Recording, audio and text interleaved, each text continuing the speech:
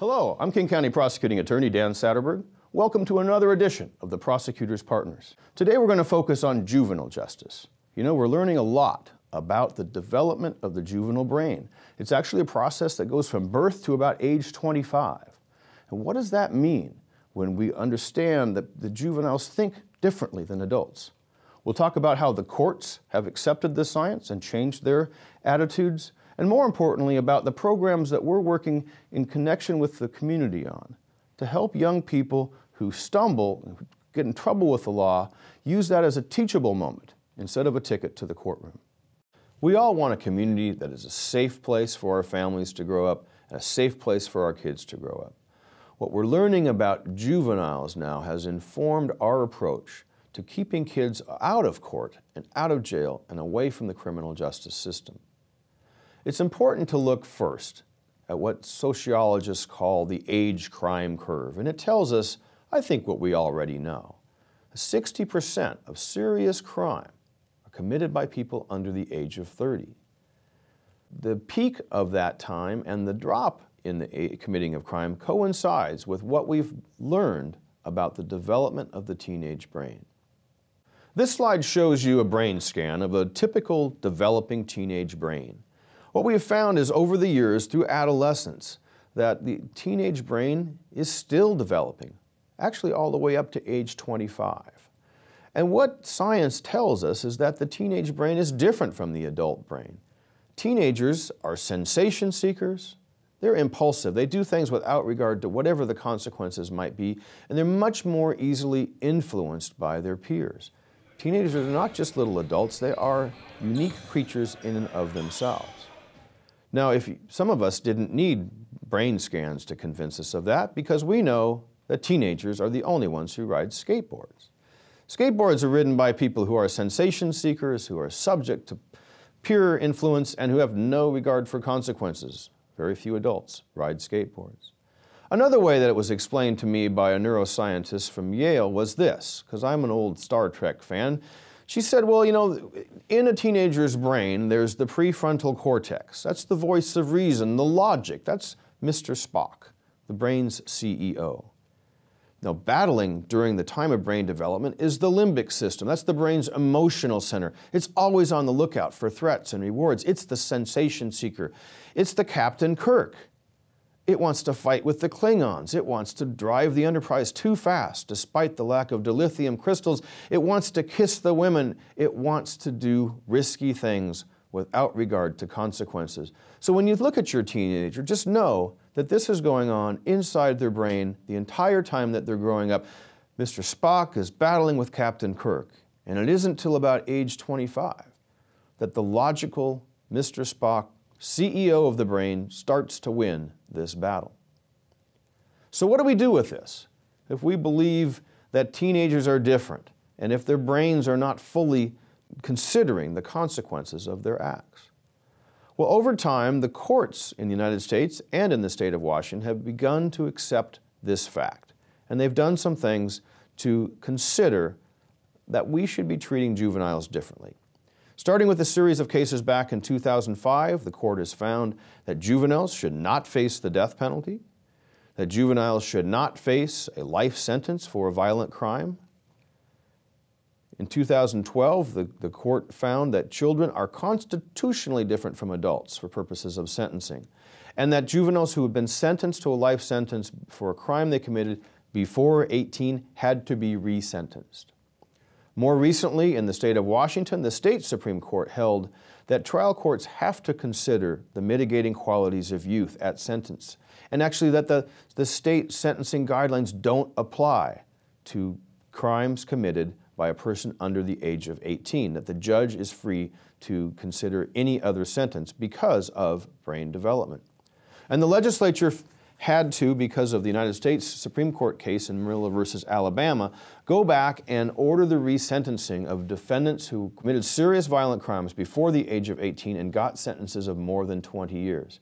Each of those people going back as far as we can go back will have the ability to appear before the state's parole board and have the parole board release them if they have served 20 years. So the jurisprudence has caught up with the science. Courts are recognizing that even when juveniles commit serious violent crimes, that we have to treat them differently than we do adults. But what about the average typical juvenile crime? Not the violent crime, but the stupid thing, the misdemeanor, the shoplift, vandalism, the assault, simple assault, pushing, shoving, whatever might get them in trouble at school or might get them in trouble uh, with the law.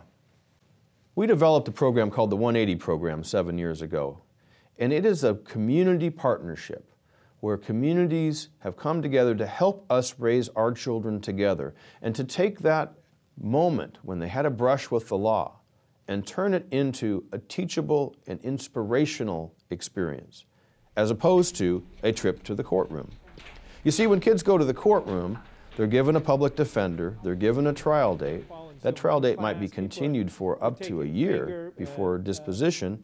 And most importantly, the youth is told to not talk. You have the right to remain silent, let your lawyer do your talking for you. Well, the 180 program is a 180 from the courtroom.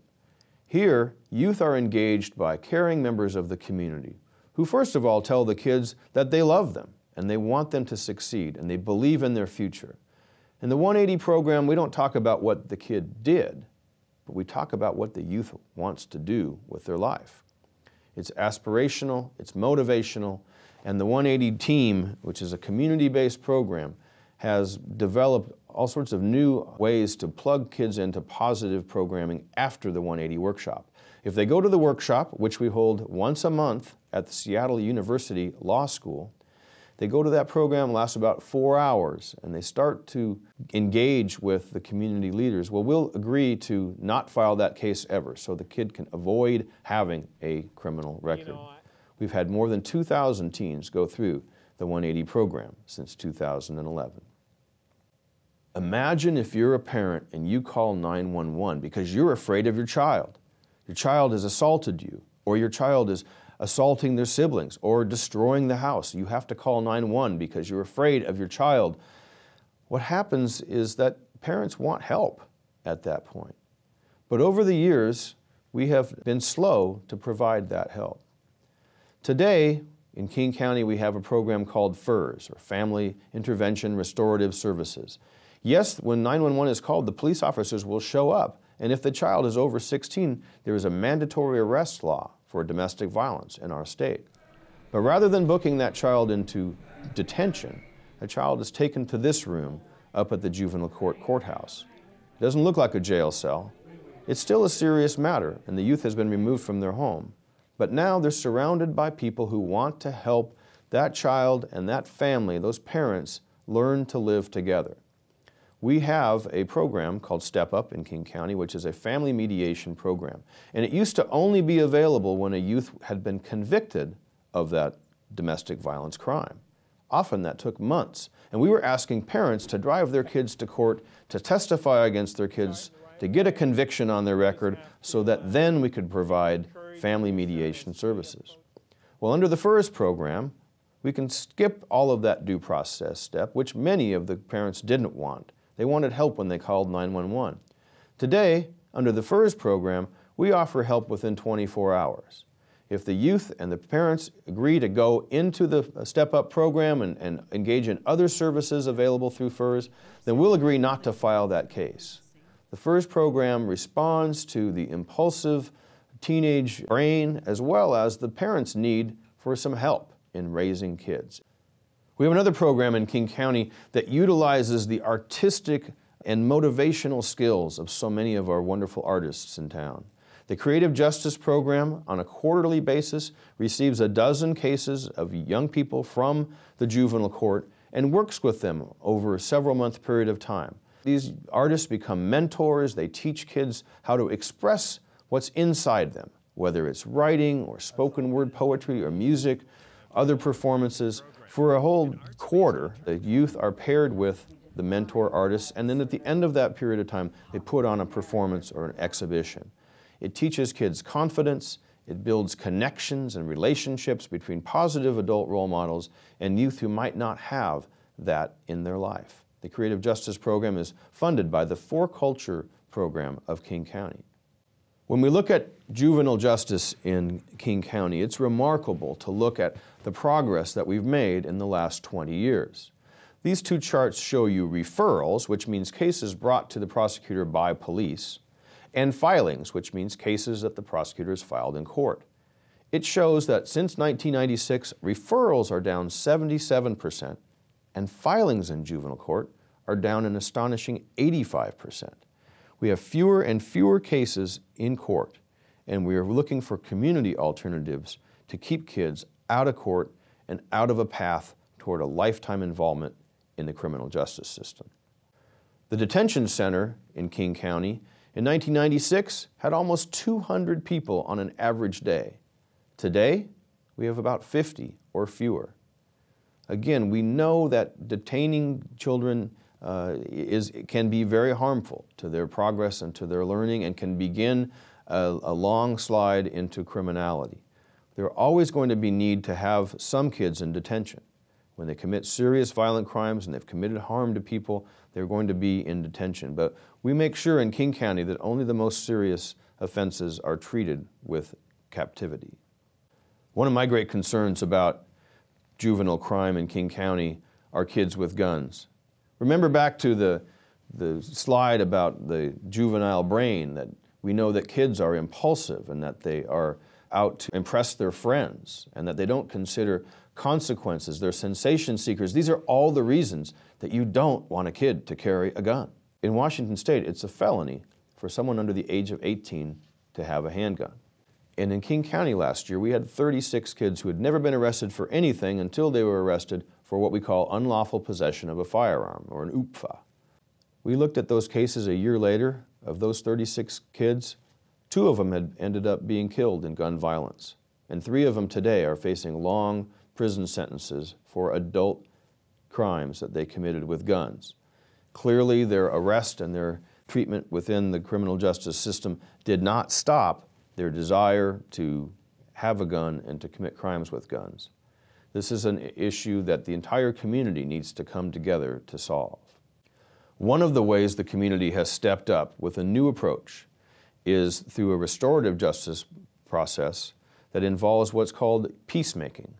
Now, I had never heard of this a couple of years ago, but community leaders came to us and said, let us try this process where we can sit with a youth, we can invite the victim to be part of this, we can sit with the family in an inclusive process that involves many of the tenets that were taken from the Indian tribes of Canada. There's a ceremony at the beginning, there are objects in the middle of the circle, there is a talking piece. And when a person has the talking piece, the other people in the circle have to listen. This, again, is to be contrasted with what happens in court, where we tell the young person to not say anything at all. What we really need to do to engage a young person and to make a connection with them is to encourage them to talk. And that's what the Peacemaking Project does. This young man, his name is Ramon, got in trouble one day for a very stupid and impulsive act where he went to buy some tennis shoes from another youth who he went to school with, he knew his name, and at one point pulled out an air pistol and robbed the, his classmate of his shoes. Within a half hour, Ramon was under arrest and in handcuffs and was facing two years in prison for first degree robbery. The community came to us and said, let us work with this young man and his mother and their siblings. They were about to get evicted from public housing because that's what happens when a felony charge has been levied. And the community group worked with, to keep them in public housing and to work with this young man. He apologized to the victim. He got back in school. He's graduated from high school and heading to college now. It's a remarkable story of what can happen when a community comes together. They worked with Ramon and his mom and their family on not just the peacemaking circle process, but on shoring up the rest of the part of their lives that was in chaos. The community rallied together, came to the court. We had 200 people show up for the sentencing of this young man. This is the leader of the peacemaking circle process in King County. His name is Saroeum Phoung. He has taught us all about what can happen when we spend time with young people who have felt like they're not worth anything, they're not worthy of help, and we offer to help them. The peacemaking circle process is still new to King County, but we have other cases that we're experimenting with. The community has stepped up and said, as part of a community justice approach, let us help our children get past the difficult times and the difficult mistakes that they've made. It holds great promise, I believe, to address some of the core issues that underlie youth violence in our community. So, how are we paying for all these things? Well, we're lucky here in King County. We have a couple pots of money that make us the envy of many jurisdictions. Back in 2008, a one tenth of 1% sales tax was passed. It's called the Mental Illness Drug Dependency Tax. It helps us pay for a lot of the programs that we're using, the LEAD program in, uh, in drug addiction and the, the Crisis Solution Center dealing with people with mental illness. And we also have a program that was passed, a property tax levy called Best Starts for Kids. Between the two of these programs, we have access to over $120 million of money that we can use to pay the community for providing solutions to complex social problems that end up on the doorstep of the courthouse.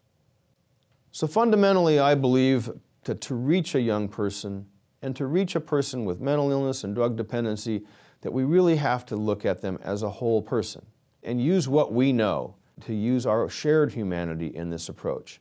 And for me, it's simply this that to change the way that we act, we must change the way that we think. And in order to affect the head, you have to start with the heart. You have to start with a connection to a person who has been told that they're not worthy. You have to start with trying to raise up somebody who's only been pushed down and have the community rally together to create a just and safe and holistically healthy community for all of us.